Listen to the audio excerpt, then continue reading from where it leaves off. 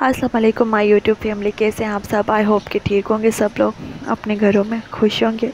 आज मैं बालों के हवाले से कोई जो है वो ट्रीटमेंट बताऊँगी। जो हम महँगे महँगे सैलून से करवा के आते हैं, वो हम खुद घर पे कर सकते हैं। जो कि हमें सेम रिज़ल्ट मिलता है इसका। इन ट्रीटमेंट जो है वो हम लोग फोर फाइव टाइम कर सकते हैं इसको यूज़ अच्छा जी तो मैं बात कर रही हूँ कंडीशनर की, जो कि मेरे पास लोरियल का है।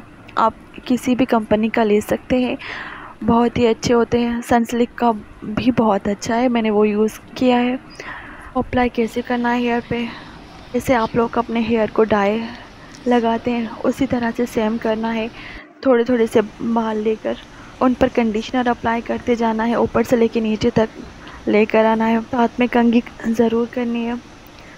उसके बाद बालों को खुला रखना है और कंगी करते जा एक घंटा टाइमिंग होती है, लेकिन आप जितना मर्ज़ी रख सकते घंटे से भी बहुत ही बेस्ट रिज़ल्ट मिलते हैं। अगर कोई चीज़ समझ में ना आए तो कमेंट में पूछे और अपना बहुत सारा ख्याल रखिएगा। अल्लाह